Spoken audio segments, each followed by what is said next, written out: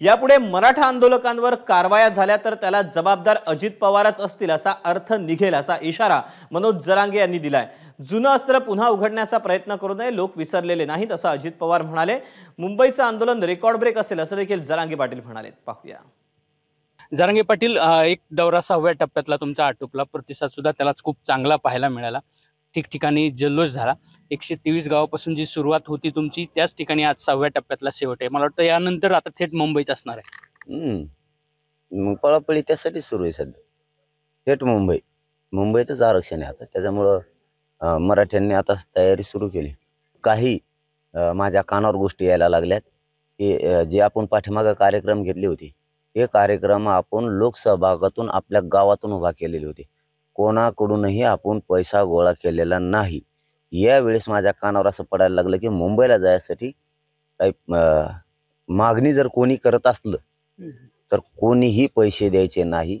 जर कोणी दिले असले तर त्यांनी ते माघारी घ्यायचे. नाही तर फिरून मला म्हणायचं नाही की पैसे घेतले होते नामकं केलं तर तुमचा उद्योग मग तुम्ही बघायचा. दोनच दिवसापूर्वी अजित पवार म्हटले की कुठलीही मुलाइजा बा बाळगता बाळगणार नाही आणि कारवाई होणार अशा प्रकारे मुंबईत येत असाल. त्याने सगळं समजलं आम्हाला. काय समजायचं राहिले? मला समजून काय उपयोग? सगळ्या मराठ्यांनाच समजलं. पुन्हा एकदा मराठ्यांच्या हाल करायचे. पुन्हा एकदा मराठ्याचं नुकसान करायचं. याच्या आधी एकदा केलं. पुन्हा एकदा करायचं. असा याच्यातला अर्थ दिसतोय. त्यामुळे आता त्यांना जास्त नाही बोलत मी.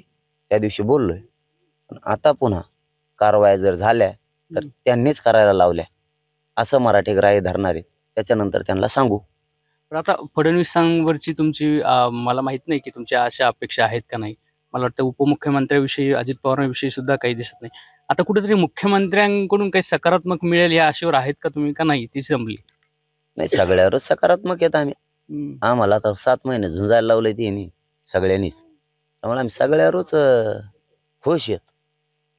एकदम खुश आहेत आम्ही सगळ्यावरच. त्यासाठीच आम्ही त्यांनी आम्हाला खुश केलं म्हणून त्यांना खुश करायसाठी मुंबईला चाललो. आम्ही काही वाईट करायलो का. त्यांनी आम्हाला सात महिन्यात खूप खुश केलेलं. मग त्यांना खुश करायला चाललो मुंबईला आम्ही.